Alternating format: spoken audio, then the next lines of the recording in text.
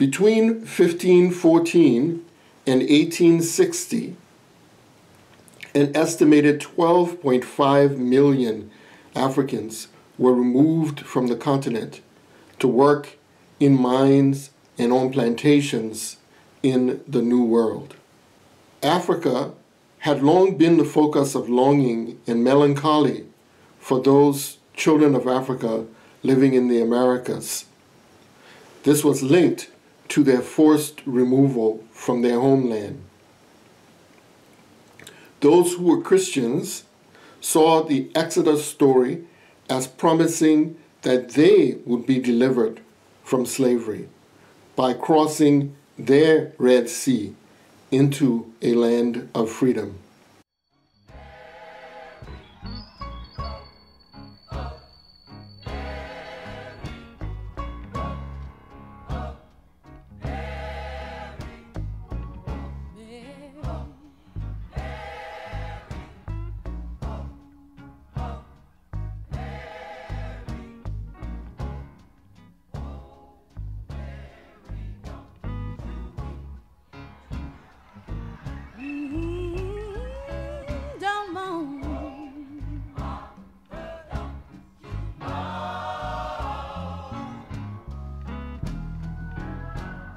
Listen, babe.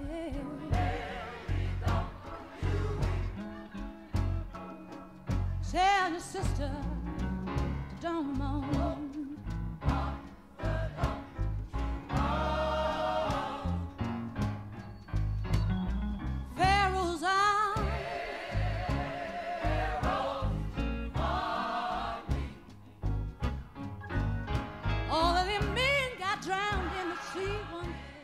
Even as slave trading still raged, some blacks dreamed of Africa as a field of Christian missionary work and of commercial enterprise.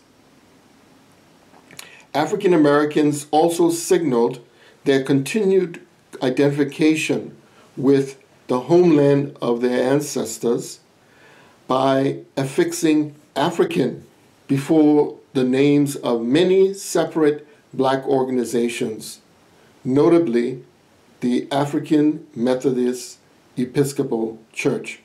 In the 19th century, blacks in the U.S. seeking repatriation focused on Freetown. It was a British colony established in 1788 on the coast of Sierra Leone in West Africa. Initially, it was settled by poor blacks from London.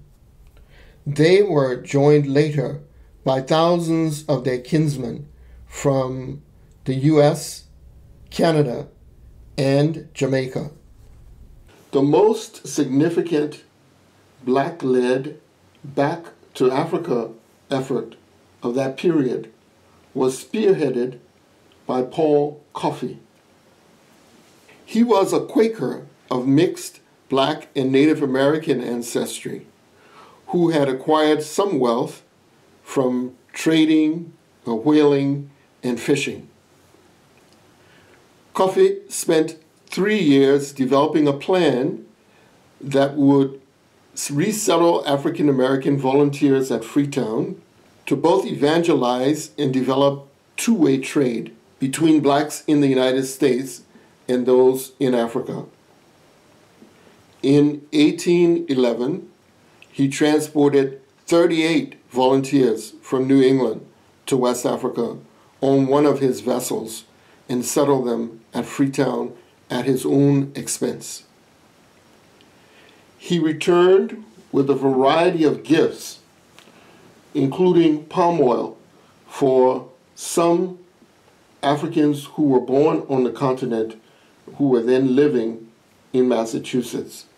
Inspired by Cuffe's immigration effort, the Reverend Robert Finley of the Princeton Seminary in 1816 helped to launch the ACS, an association of powerful and well connected white men.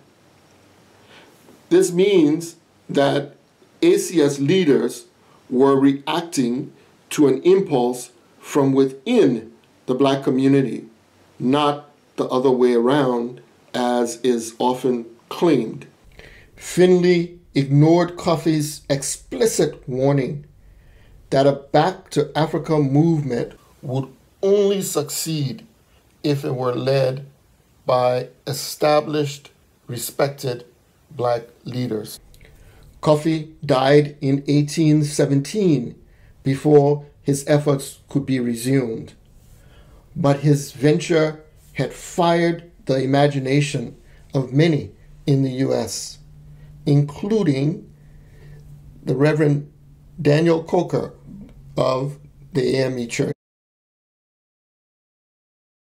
In 1810, Reverend Coker had published a pamphlet called A Dialogue Between a Virginian and an African Minister. In it, he condemned slavery and demanded universal emancipation.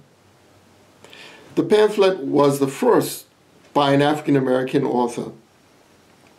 It attracted wide attention and established Coker's reputation as one of the most militant advocates of black liberation. Coker was elected founding bishop of the AME Church, but he left the U.S. before he was ordained.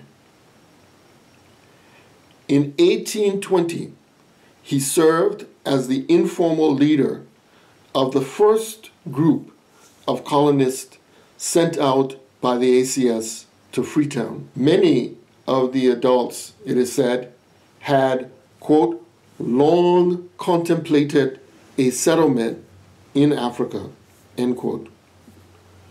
For them, the ACS was a means to an end, which was achieving their long term dream of repatriation and freedom. These were men and women of agency. Significantly, the passengers' first sighting of Africa came off the shore of Senegal at Gorée Island. A dungeon there was known as the Gate of No Return. This is because it served as a transshipment point for African captives being sent to the Americas. From Gorée, Reverend Coker wrote in a pamphlet that was published in the U.S. shortly after, quote, Tell my brethren to come, not to fear. The land is good. On April 28, 1822, the surviving repatriates settled at Cape Mesurado, the site of what would become known as Monrovia. But Coker stayed in Freetown. Like the biblical Moses, he led a people out of bondage, although he did not accompany them to their destination.